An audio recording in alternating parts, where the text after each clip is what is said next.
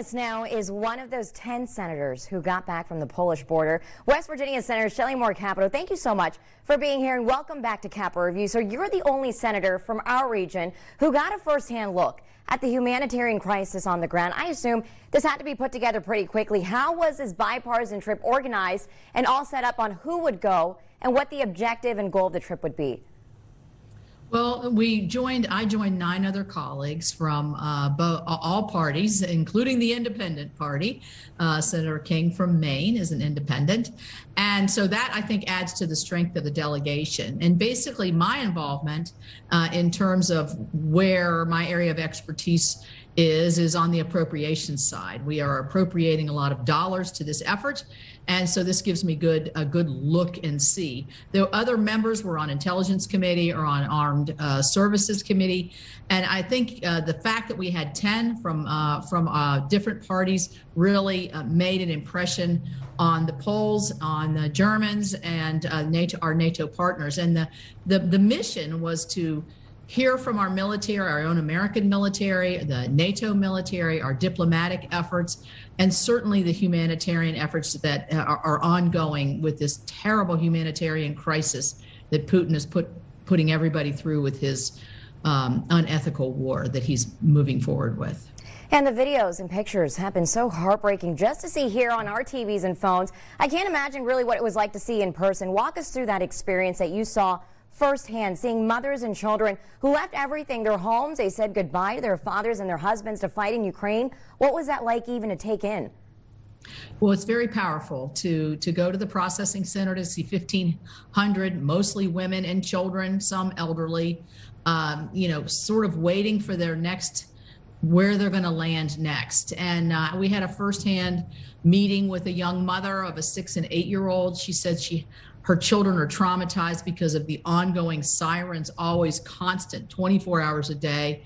She left her husband, her home, her family. She, she kept saying, All I want to do is, is live in my home and live free and, and be together as a family. These are pretty basic human rights. And uh, she's going to end up in the United Kingdom. Uh, so I think a lot of it is just jarring. Uh, many people are being taken in by the Polish people. They have people coming to processing centers saying, I have extra beds or I have an extra room. We'll take a family. Uh, and so, you know, there's a good side of humanity that you see, but there's actually a heart wrenching side to the story. And, and I think it's important for people to know that there's another 7 million people within the country of Ukraine that are displaced from their own home they can't live in their own homes anymore. So it's it's unimaginable. It really is. Yeah, I really can't believe this. So from your trip and just from your observations alone, what does Ukraine need the most right now?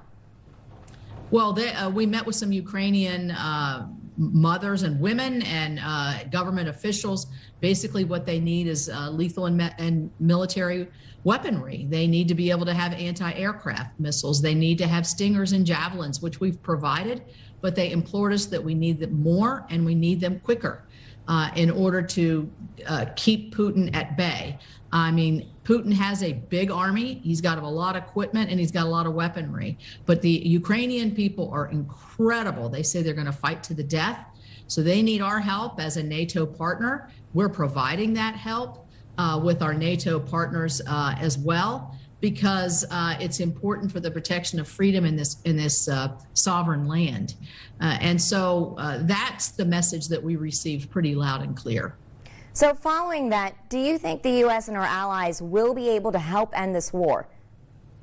Uh, there's no question that we're we are helping. Uh, we trained a lot of the Ukrainian troops that you see fighting now in Europe several years, you know, over the over the years. we also have provided uh, intelligence. We've provided uh, weaponry. Uh, you know, we don't have boots on the ground in Ukraine, and we and we won't. But we've also been able to help them, along with our European partners and our uh, NATO partners, to be able to s- strengthen the force in Ukraine and, and kind of have their back in terms of uh, providing that weaponry. The most important thing is the uh, is the military help in terms of um, um, ammunitions and munitions that are so very important to fight back. And you know, you're talking about somebody, Putin, who will bomb hospitals, kill children with with no regret. And uh, I think it's a, it's a brutal dictatorship that's something like we've never seen in my lifetime. And in many Europeans' lifetime, they never thought they'd see it again after World War II.